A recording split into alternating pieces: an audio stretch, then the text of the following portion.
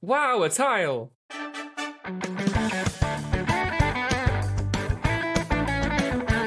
Hello and welcome to the Infinite Escape Room, the puzzling podcast where a bunch of geographically diverse chums come together, have a drink, and work together to solve a homemade escape room. I'm Ben Levy Griffiths, and tonight I am drinking a uh, Thomas Watkins Cwrw Haf, uh, which is a, a very nice beer. Cwrw Haf what? What is it? Is it like a Uh, lagery beery or a? It's a it's a, it's a beery beery. beer. It's a Mm. oh yeah, of course, some of it. Uh, it's a taste of the Welsh summer captured in a bottle. And joining me this week we have I'm Laura and I'm drinking a punk, alcohol free, because it's been a boozy weekend thus far. I'm trying to behave. Uh, I'm Aled and I'm, I'm drinking a cup of tea. Because, yeah, it's been a boozy weekend. And I'm Mike, and it's been a boozy weekend and continues to be a boozy weekend because I am drinking a Brewdog Juice Shack. It's a tropical milkshake IPA. And I know I've said about some beers before that they're a bit like Umbongo but alcoholic, but this one really is a lot like it. it's really kind of it's got that kind of um, oat uh, oat cream kind of uh, yummy creaminess to it. Uh, it's very fruity. It's absolutely delicious. Laura hates it. Uh, so this is a real win because this is not only a beer that I really like, but it's also a beer that Laura won't steal. I even actually bought it for you. So He did go right for me. I really appreciate it. Thank you, darling. Can I have more? And I I guess we should probably say that we did try doing this. So we- we're currently recording on Sunday, the fourth and of of April, and we did try this on the first of April. Yes, first of April, and uh, it did not go well. My my internet completely decided that we shouldn't be recording on the first. So so we're here again, and and on the, on the first we were all drinking. I think a bit more booziness. There was prosecco even. Oh yeah, we were on the prosecco, weren't we, Laura? Yep, it didn't last long. We had a lovely chat. I would say While Ben was disconnected for, for the best part of an hour, we just had a lovely chat. Mm. It's got polished off our drinks, and then we're like, "Oh wait, where's Ben?" So hopefully this evening will be a little more successful. Before we begin, I'd like to thank our Patreons for their continued support, and I'd like to give a special shout out to two of our supporters, Ryan Sparrow and Maggie. Thank you very much to the both of you for helping keep the show on the metaphoric road. Cheers, guys.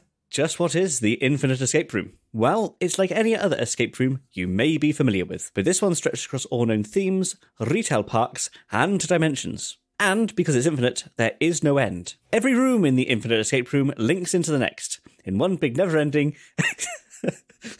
Sorry, Every Ben. room in the Infinite It's just like good news, everyone. you did it with the exact same intonation last time as well. I was like, oh, mustn't put him off his stride. But then I did. Sorry, Ben. Good um, news. In your own time, Ben. Every room in the Infinite Escape Room links into the next in one big never ending escape experience adventure. Each week, one of us presents part of the Infinite Escape Room, while the others try and solve it. If we don't escape within 30 minutes, then terrible things shall befall us, and if we break anything, we will lose our deposit, of which you all know what it is because I already revealed it to you on Friday. Um, so I'm expecting a somewhat flattened response. Uh, this week, our deposit is the world's ability to produce flour. Oh, yeah.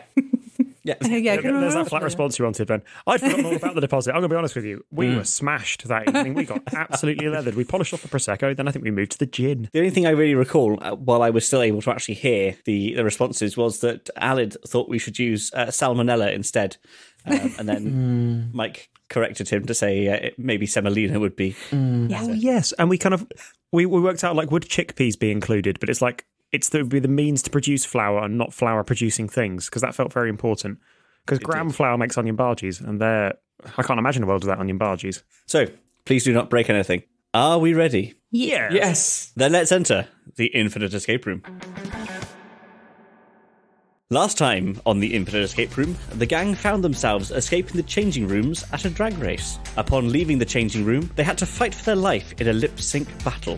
After being told to sashay away, the team found themselves, still in sequin dresses with feather boas and high heels, outside, where an army of 60 foot drag queens were charging the town. Starting to run down the street, you begin to realise that heels really aren't the kind of thing to run in. But you can't go barefooted, there's glass all over the street. Over the other side of the road, you notice a costume shop. Surely they'll have something more sensible to change into. You're in luck as the lights are on and the door is open. Ducking in before the giant drag queens see you, you notice an almost empty room. Aside from three costume stands, with costumes on, there is only a door to the changing room and nothing else. Walking into the middle of the shop, you look for someone to help you, As if by magic, the shopkeeper appears. Ladies, you don't seem to be dressed for the right occasion. I'm very sorry, but it seems we've had a bit of a run of things recently. COVID restrictions coming to an end, and everyone wants fancy dress. I've only got these three left. The man points to three costumes a cowboy, a sailor, and a Native American. I think you might be in luck, says the man. Looks like one of them should fit each of you. Please, one of you choose one costume and go and try it on in changing room A. Take the other two with you, they can choose afterwards. You look at the costumes and then back again to find the shopkeeper nowhere to be found. Your time starts now. What would you like to do? Pick a costume So- and go try it on. I think so. You said one of us needs to pick a costume, doesn't it? And the other two would take the other ones with us. So who wants to wear a costume? I think the thing was to go in, try it on. One will fit each one of us. So go in, take all with you, try it on, and then whichever one fits you, you leave the other two in the change room. Ah, okay. He said, please one of you choose one costume and go and try it on in changing room 8. Take the other two, as in other two participants with you. Oh, Uh, they can choose afterwards. Okay. Okay, well, Aled, do you want to go first, old chum? uh, yeah, I'll take the the cowboy outfit. Wonderful, wonderful. Uh, so you take the cowboy outfit, and all three of you, rather peculiarly, uh, trot over to changing room A. Cover my eyes, Aled. Uh, inside changing room A, you uh, you close the door behind you. It's a relatively small room, but enough for all three of you to turn your backs and uh, and for Aled to, to change into his cowboy costume. You notice that there is a second door opposite the one you came in. Aled, when you are ready, what would you like to do? Uh, I, so the door in the changing room, not the door that I came in through. Yes, correct. Cool. Can I try that door, please? Uh, I have you changed yet? I have changed. Mike, you can cover Wonderful. uncover your eyes. Ah! The uh, the the door opposite the one you came in is is open. You can open it. Can I go through it? Uh, you can do. Uh, I'm going to say that all three of you go through it, if that's okay. Yeah. Okay, yeah, sure. Okay. Wonderful. Sure. All three of you go through it, and you find yourself in a saloon. Okay. Above the Ah, bar, because you were wearing the cowboy Alad. The cowboy Alad fit. Outfit. above the bar, it says the Wild West Saloon. There is a bar. Obviously, it's a, it's a saloon. Uh, you can see a, a piano. There are a couple of tables with stools around them. There is a poster on one of the walls.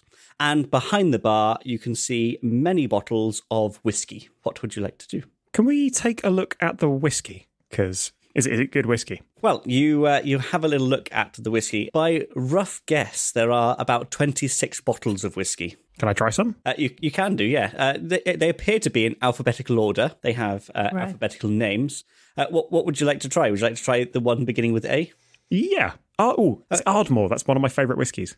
Uh, no, it's um Adald Aardvark. uh, you, you try some, and it's a, it's a little weak for your liking. It's um so it's quite watery. Ben, is is B befuddled beaver? Uh, it's uh, befuddled badger, actually. Ah, I'm trying to think what C would be. Clumsy cow? Uh, uh, C is clean camel. Of course. Why didn't we guess that? Okay, so I'm guessing we don't need to go through an entire alphabet of whiskies. Oh, I Although kind it of does want feel to like the sort of thing- because I want to see how Yeah, many names he's got. Because I'm guessing I want D to be dumbfounded deer.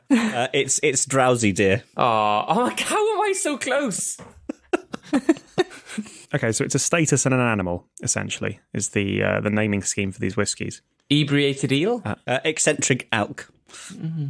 Losing my touch. Inebriated would be I. That could be I said inebriated e- iguana. I said ebriated. Oh, okay. He's not inebriated. He's just ebriated. um, can we take a look at this poster, Ben? Uh, you can do, yes. The poster uh, seems to be of some horses for sale, and I am going to drop it into the chat for you now. Uh, it'll be uh, in the show notes. Okay, so we've got a um, a poster in oldie timey Western font uh, with horses for sale. We have 1, 2, 3, 4, 5, 6, 7, 8, 9, 10, 11, 12, 13, 14, 15 horses.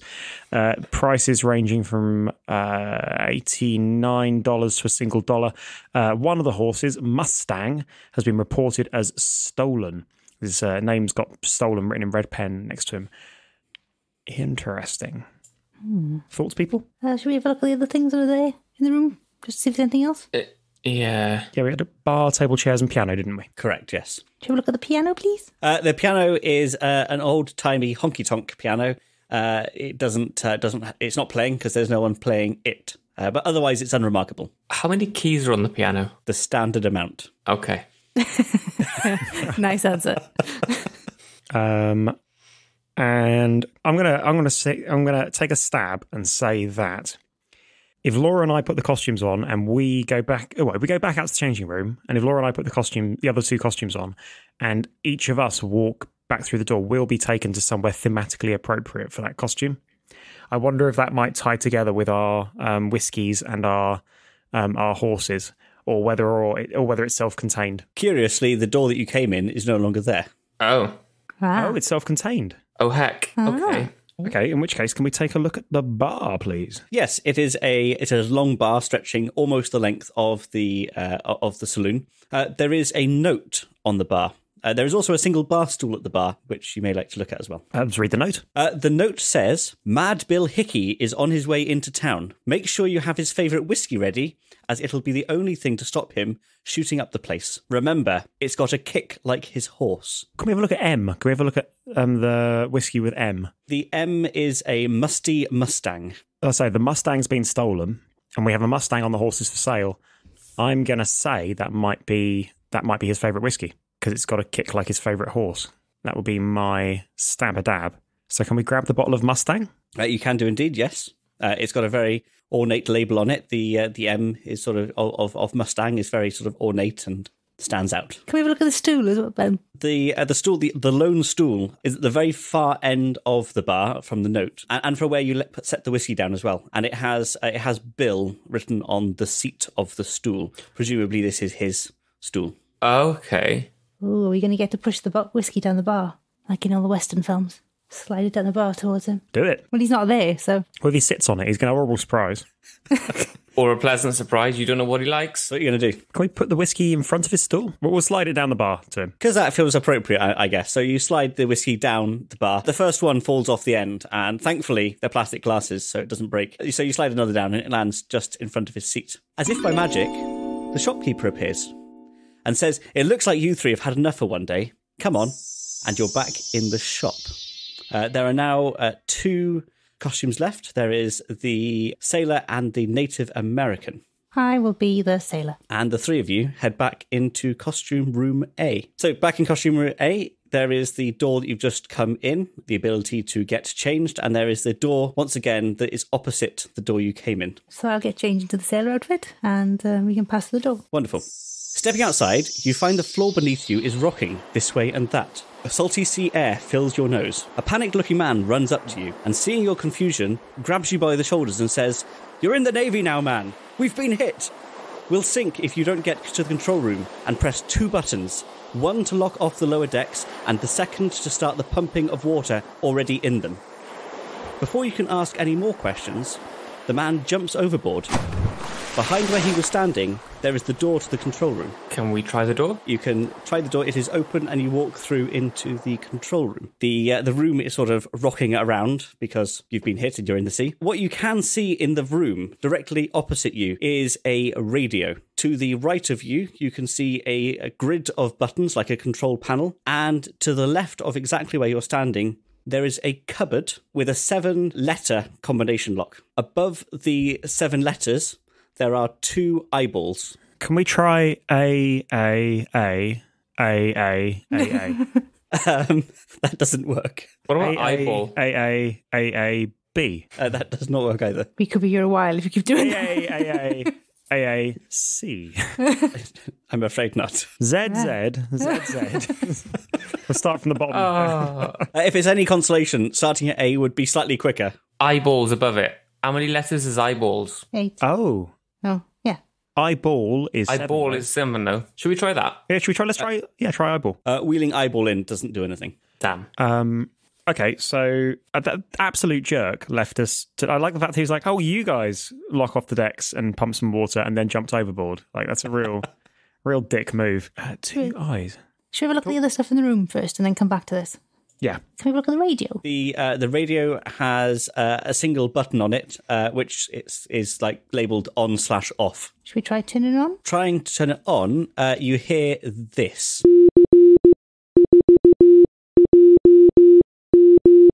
Morse code.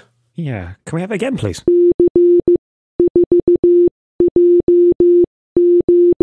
Did anybody manage to note that down? No, I I don't know Morse code. Can I have it again, please, Ben?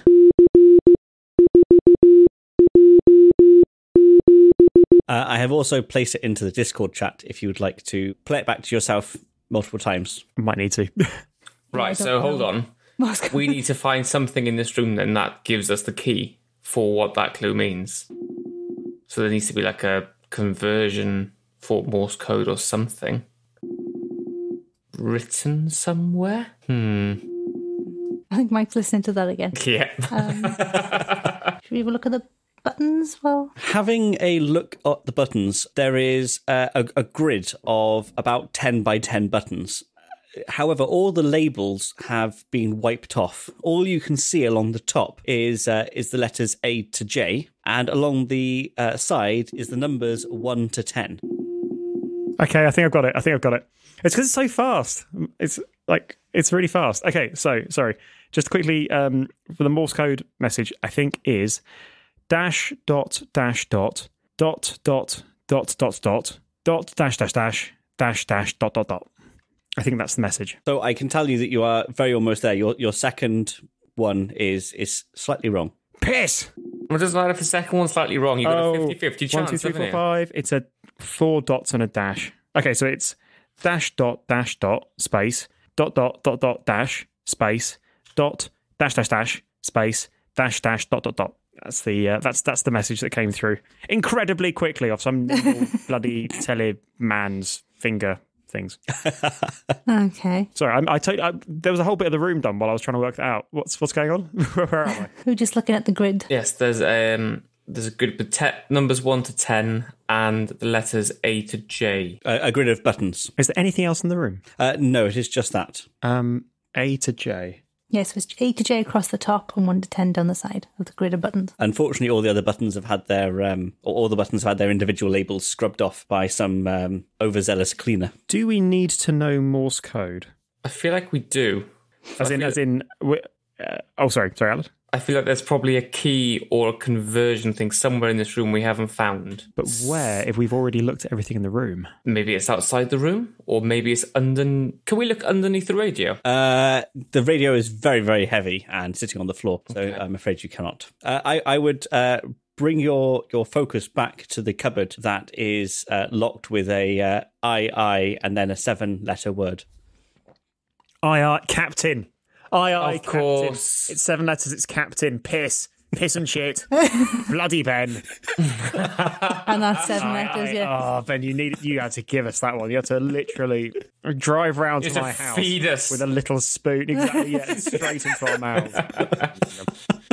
So, uh, wheeling Captain into the into the padlock, you uh, you open the cupboard. Inside there is a single sheet of paper. Uh, at the top of it, it says Thank you. Morse code key, and I've dropped it into the chat, and it'll also be in the show notes. Okay, so the first word dash dot dash dot, or the first letter, sorry, C.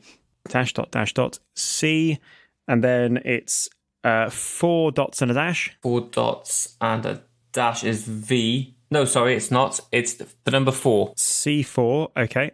And then it's uh, dot dash dash dash Is uh, J. Yes. C4J, and then dash dash dot dot dot. Seven. Yeah. Okay, can we go to the uh, the matrix of buttons, please, and hit the C button?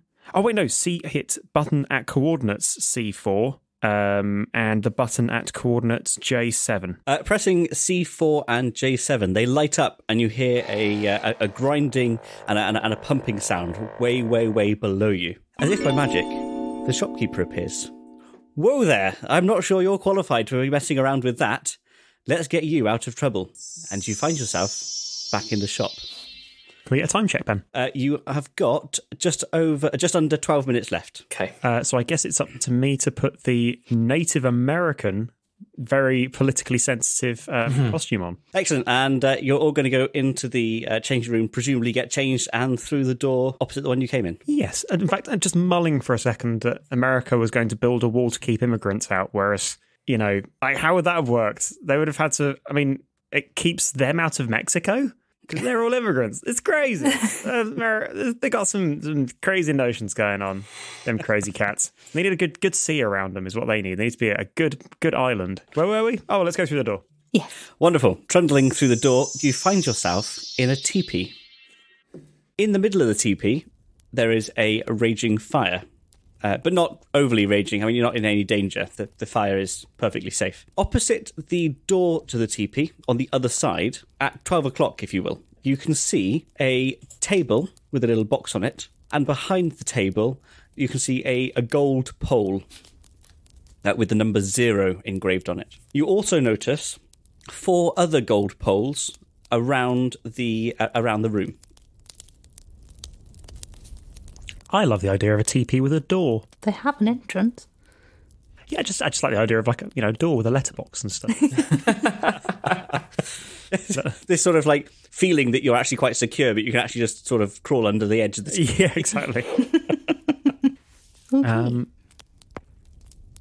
This concept where you have like random doors in the desert and you, you actually put a teepee around it. yeah, Yes. you started with the door. Can we and a wild door. found found oh my goodness. Can we have a look at the golden pole? Uh, the, the the the one at uh, twelve o'clock, Yes. or the other ones, The one all of them. the one at 12 first. Okay, the one at twelve o'clock simply has uh, zero etched into it. Okay. And if the I word or the number?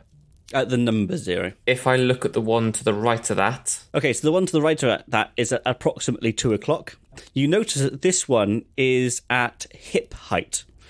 It has a single cut mark on it, um, and it also has a uh, an arrow, as, as in a bow and arrow, affixed to it, pointing right. and if I follow that trajectory down to the next one, Down, you have uh, the next one is at about four o'clock. That is at about head height. It has two notches taken out of it, and it has an arrow fixed to it pointing left.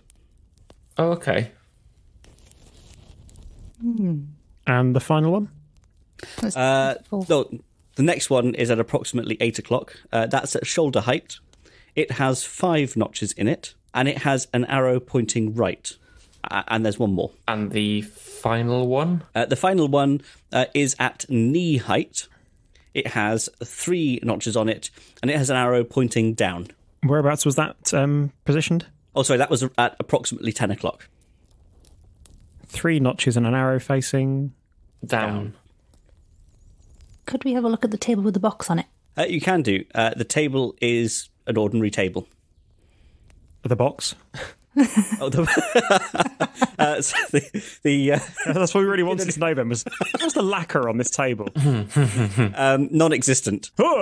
The uh, the box has uh, Yakima written in gold on the top of it, and the it has a little rotary combination lock affixing it. The numbers are zero to ten. Okay, so I get the feeling that these poles are giving us movements on the rotary lock and that the arrows are giving us left right instructions.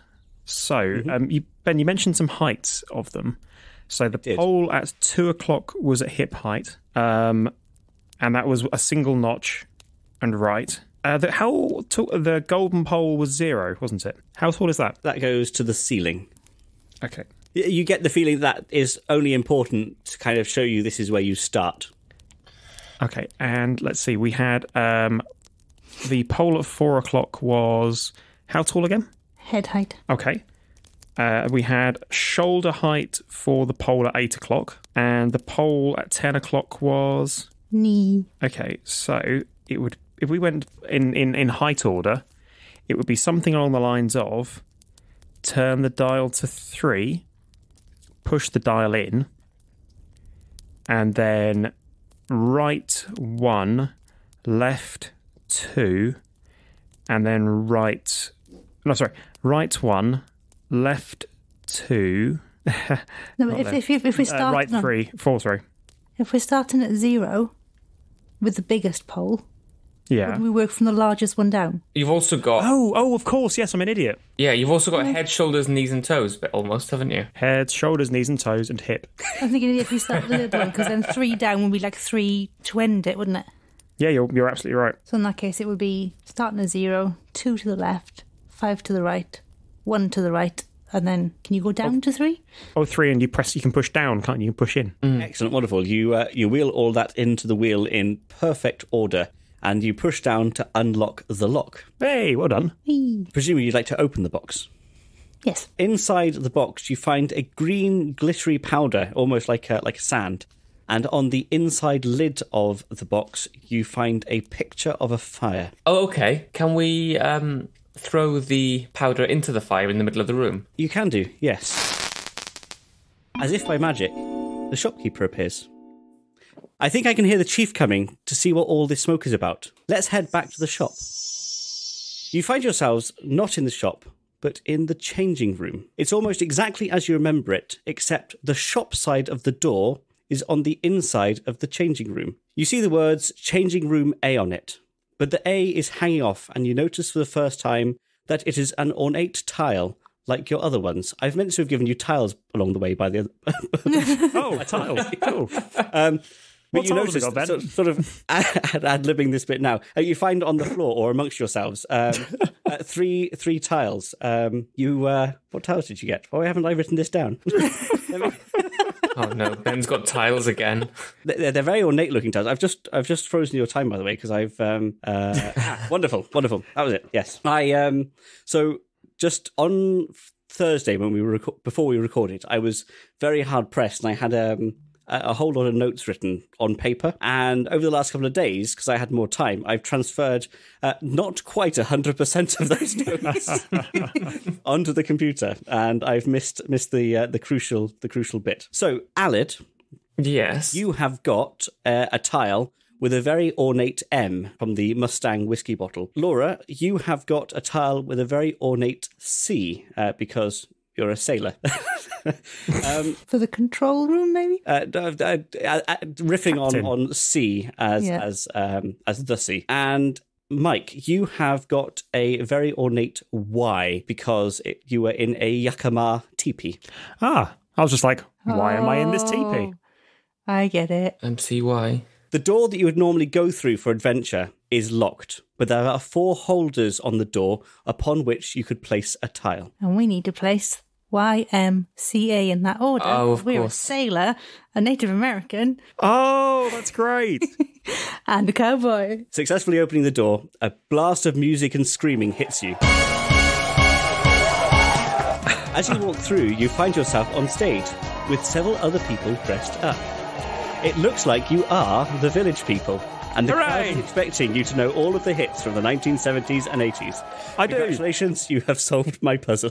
Oh, well done, well done, Ben. Do you know, I, I was I was convinced that. Um, do you remember Mr. Benn? Well, Ben was being Mr. Benn, I imagine. Yes, It's, I it's remember Mr. exactly Ben. modelled off of that. I see, I thought this was that, and I was like, I didn't see it as being because he, he was a, a little bit gay, but YMCA is really gay. I didn't realize that it was. Um, oh man, that was awesome. I love YMCA. That was Yeah. a lovely surprise. Nice job. I, I thought village people when you mentioned the outfits to begin with.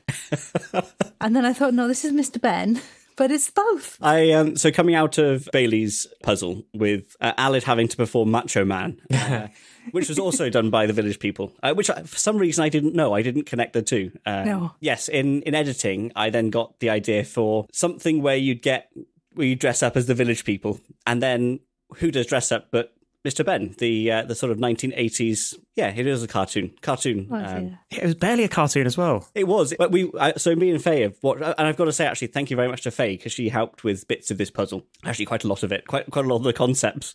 Uh, she she actually thought up. We watched quite a lot of Mr. Benn, and it is there is almost no moving in it. There's like occasionally you might get a character moving like behind a hedge. You can just see the top half of them, or they might like wobble from side to side. But that is kind of it. Glorious. It's from that wonderful age of um, British animation where it was like, yeah, we've got an animation department. Both of them.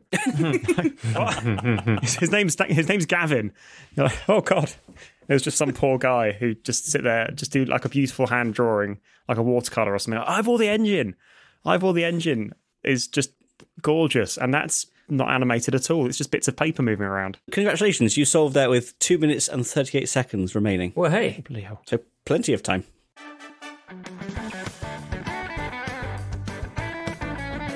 Thanks very much for listening. You can subscribe to us on all your favourite apps, feeds, iTunes, and at our website, www.theinfiniteescaperoom.com. You can follow us and get in touch via Facebook and Twitter at tier underscore podcast. If you enjoyed the episode, and we hope you did, we'd be much obliged if you could leave us a review on iTunes or Facebook, as is a massive help in reaching new audiences. And as we mentioned at the start, we're also on Patreon. If you'd like to support the show, head over to patreon.com forward slash the Infinite Escape Room, where you can listen to episodes a week early, have your name mentioned on the show, get unedited episodes, and more. We love you lots, and we hope to see you next time in another Infinite Escape Room. Goodbye. Bye. Bye. Bye.